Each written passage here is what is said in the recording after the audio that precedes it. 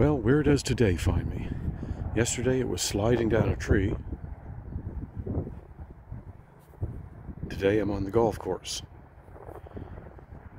But not the way you would think. I've got some stump grinding ahead of me.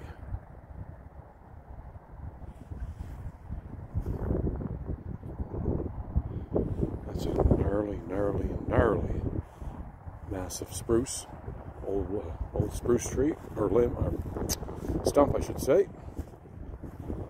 And there is a ton of grinding to get that one down. Probably have to cut a few pieces off of it but that just looks like an octopus laying there.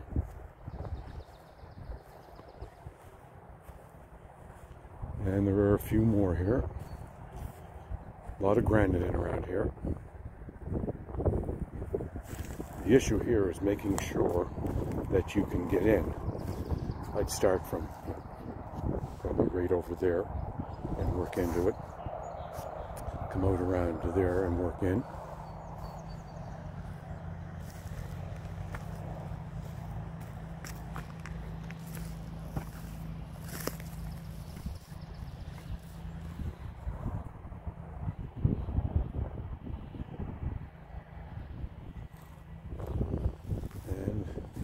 Another beast.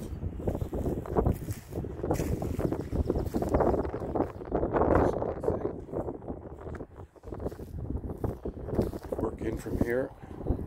Start taking all those spiders.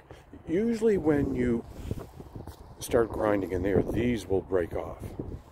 So you can have an old chainsaw or an axe and they will break off and come out. So you don't have to chase all those little, you know, above surface, above ground roots, all the collar, you don't have to chase all those out.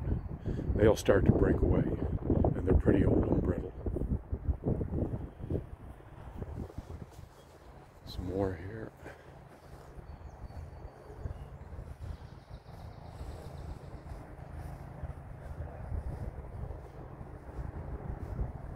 And this area in here, I've already walked through there.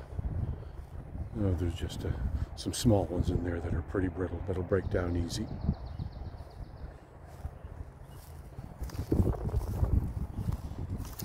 This one in here against that white birch. Try not to damage that. One right down there next to the road. The walkway there. I could back the stump grinder down there. You go down that head first and it'll flip. You back it down. And then it's this uh, rock garden in here, full of stumps. So there's definitely a couple of days in there to try to take that apart and do a nice neat job. Now there's, you know, they talked about doing it with an excavator, but my experience, I would not want to try it with a four ton excavator, maybe a six ton, but then you've got to come in all over that grass. Try to break that apart, dig that down, fill the holes back in, get rid of that stuff, truck it away. You know, a lot of disturbance here, a lot of disturbance to get that stuff out. Right next to the 18th green there, fairway.